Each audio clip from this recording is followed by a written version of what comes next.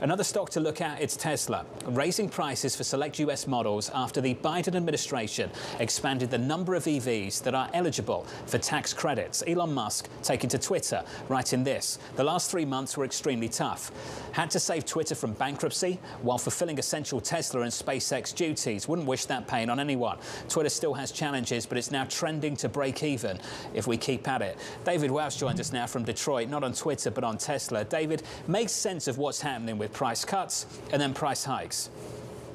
Look, you're going to see a lot of volatility right now in vehicle pricing, which I'll explain in a second. But in the case of Tesla, I, think guidance on the Inflation Reduction Act and what vehicles will be eligible for those incentives is playing a, a big role here.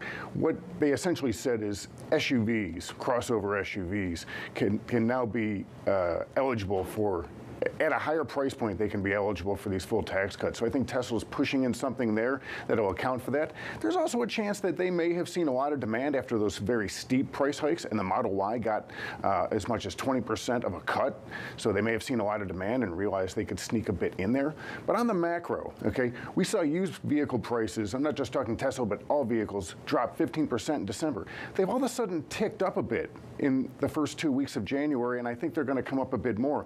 So there's volatility right now. On one hand, you have high interest rates that's keeping some consumers away from buying vehicles, and you do have more availability. So maybe the pricing power isn't as strong. However, we have great jobs reports. Everybody's working.